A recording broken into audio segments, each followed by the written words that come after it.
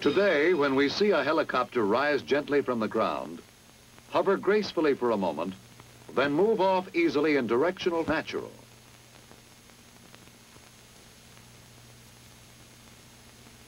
But it was not always so simple.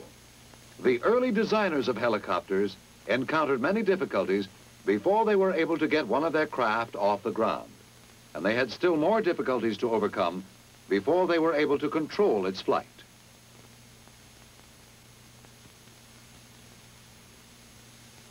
One of their major problems was dissymmetry of lift, which means simply that in directional flight, rotor blades always tend to exert more lift during the advancing half of their cycle of rotation than they do during the retreating half. The result, of course, is an unfortunate tendency for a helicopter to turn over on its back.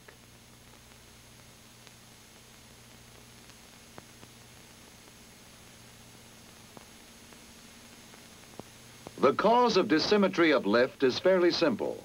Lift, as we know, is produced by the passage of air over an airfoil. The air passing under the airfoil is compressed, forming a high-pressure area. The air passing over is accelerated, forming a semi-vacuum, or low-pressure area. This results in the creation of the force called lift. The faster the air passes over the airfoil, the greater is the lift produced. All other factors being equal, lift will vary as the square of the velocity. In a helicopter, of course, the rotor blades act as airfoils to produce lift. And the faster the air passes over the blades, the greater is the lift which is produced. Now suppose the rotor of our helicopter is revolving so that the tips of the blades are traveling at a speed of 350 knots.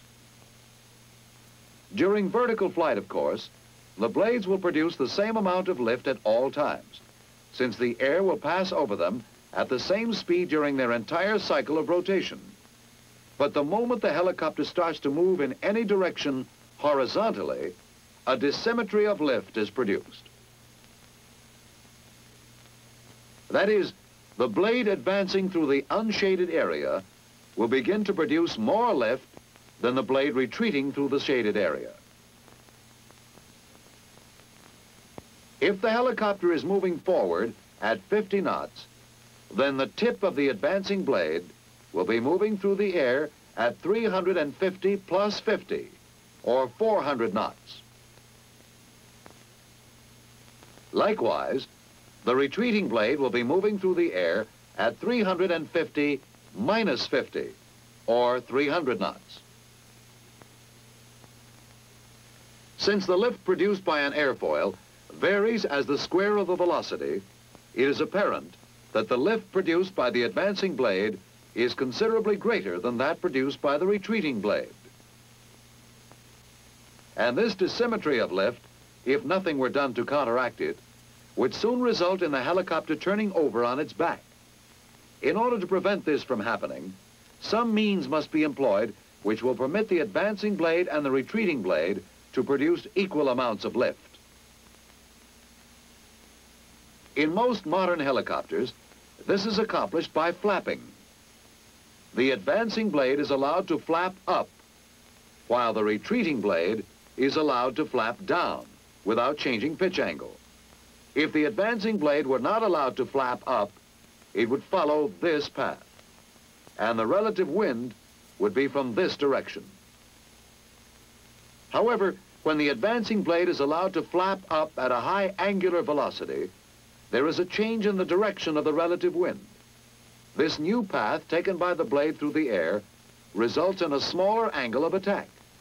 A smaller angle of attack results in a reduction of the amount of lift. Thus, simply by allowing the advancing blade to flap up, we reduce the amount of lift which it produces. It is this difference in the relative wind caused by the flapping action which reduces the amount of lift. Meanwhile, on the other side of the helicopter, we increase the amount of lift produced by the retreating blade. Let's see how that is done. If the retreating blade were not allowed to flap down, this would be its path. And the relative wind would be from this direction. The relative wind is always opposite to the rotational path of the blade.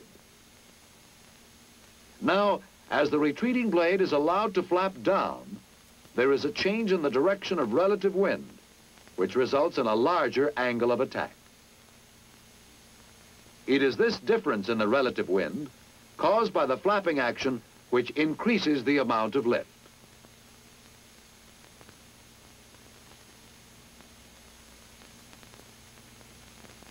Thus, by decreasing the amount of lift produced by the advancing blade and increasing the amount produced by the retreating blade, the two sides are brought into equilibrium. In fully articulated rotor systems, freedom to flap is made possible by a hinge near the root of each rotor blade. In the semi-rigid type of rotor system, freedom to flap is made possible by the teeter-totter action of the rotor head.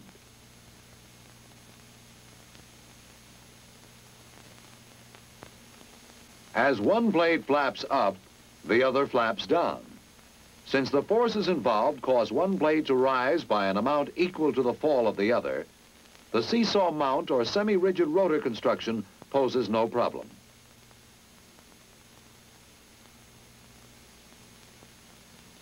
No matter which mechanical means is used to permit the flapping action, the blades will follow the same path and produce the same result, an equalization of lift.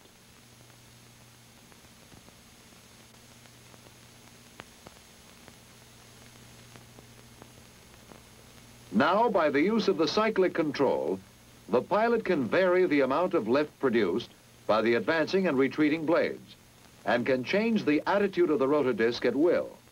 By changing the attitude of the disc, he can maintain the desired attitude of the helicopter.